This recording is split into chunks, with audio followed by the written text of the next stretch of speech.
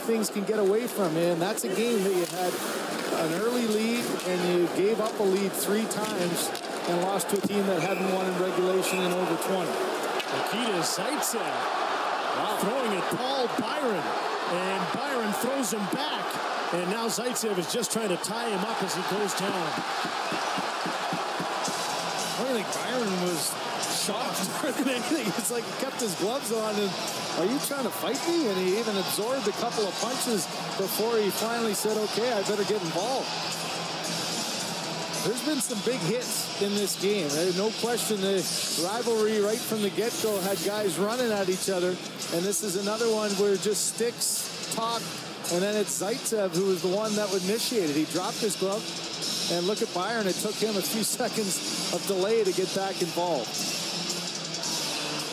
Well, here's a look at the physical nature of this game.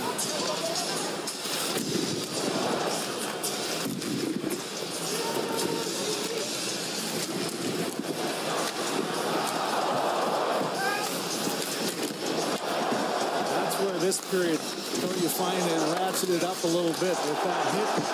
Uh, Pacioretty on Kadri, Kadri on Weber, and everything went from there, and now the latest.